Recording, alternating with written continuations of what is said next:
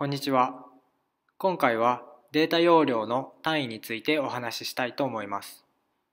ビジネスで画像や PDF などをメールで添付したりする方は、添付できる最大容量が決まっていたりするので、聞いたことがあるかもしれませんが、デジタルデータの重さ、容量の最小単位はビットで表されます。1ビット、2ビットというふうな感じです。長さの単位であるミリが大きくなるとセンチ、キロと単位の呼び名を変えて使ったりしますが、ビットはビット、バイト、キロバイト、メガバイト、ギガバイト、テラバイトというふうに続きます。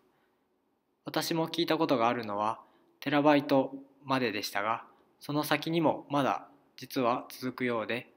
テラバイト、ペタバイト、エクサバイト、ゼッタバイト、ヨッタバイトとあるそうです。一般的によく使われる身近なもので言うと、フロッピーディスクは 1MB、CD は 700MB、DVD は 4.7GB、ブルーレイディスクは